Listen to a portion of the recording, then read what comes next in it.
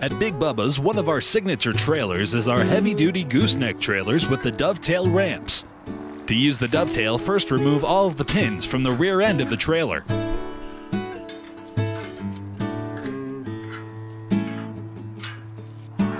Once removed, extend the lift bar fully for maximum leverage. Raise the dovetail an inch or two with the lift bar to allow the legs to fold under the tail. Next, remove the ramp stop and place it aside. Slide each 5-foot ramp out of its compartment and place it on the back of the trailer.